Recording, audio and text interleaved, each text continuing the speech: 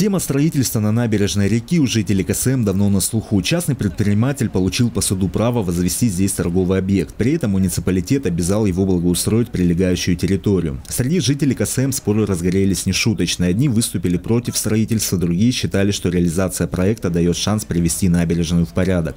На встрече сочинцев с мэром удалось наконец-то прийти к согласию. Анатолий Пахомов распорядился расширить зону благоустройства и оборудовать пляж для купания.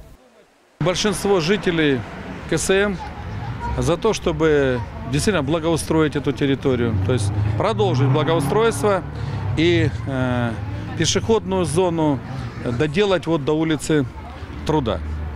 Э, кроме того, есть предложение открыть левобережье реки для прохода э, значит, жителей. Контролировать благоустройство будет рабочая группа жителей КСМ, созданная прямо во время обхода. Но сначала предстоит навести порядок, убрать мусор и расчистить берег.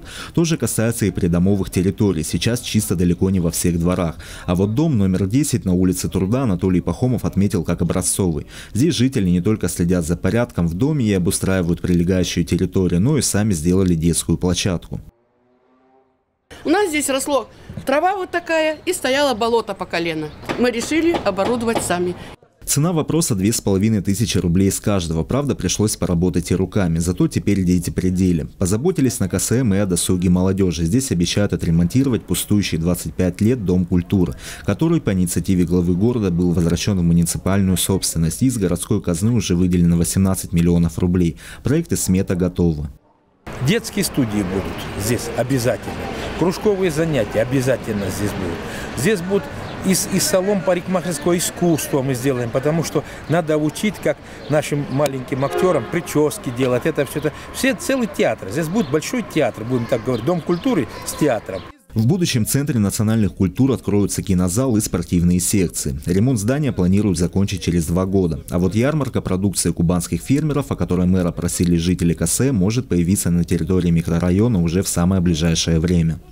Я вам ее согласовываю, зовите кого считаете нужным, значит, ставьте, приглашайте, с машин торгуйте. Анатолий Пахомов пообещал, без поддержки городских властей КСМ не останется. И в случае, если местный бюджет в этом году будет профицитным, финансирование на благоустройство микрорайона выделят снова. Игорь Кырпа, телекомпания ФКТ.